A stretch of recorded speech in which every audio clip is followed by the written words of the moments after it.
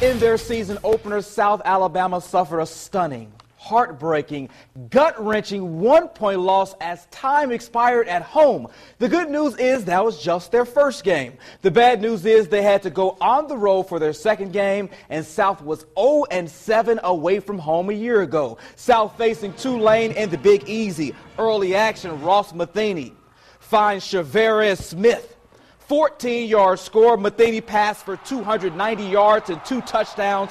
14 0 USA. Midway through the first, Orleans Darkwa. Short TD run. Green Wave down 14 7. To the second, more Jags, more Metheny, the keeper and watch him dive into the end zone. Metheny racked up a team high 75 rushing yards. South led 28 7, and they hold on to win 41 39. That snaps a seven game losing streak overall.